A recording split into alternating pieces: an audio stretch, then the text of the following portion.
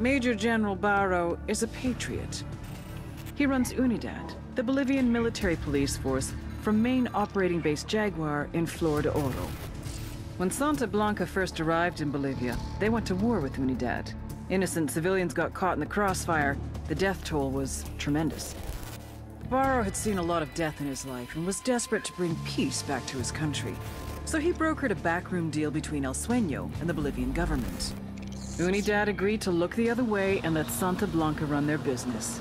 In exchange, the cartel promised to keep their killings to a minimum. Obviously, the results have been a mixed bag. The relationship between Santa Blanca and Unidad is tense. Now that Bolivia has become a full-fledged narco state, I believe that he is starting to regret his decision.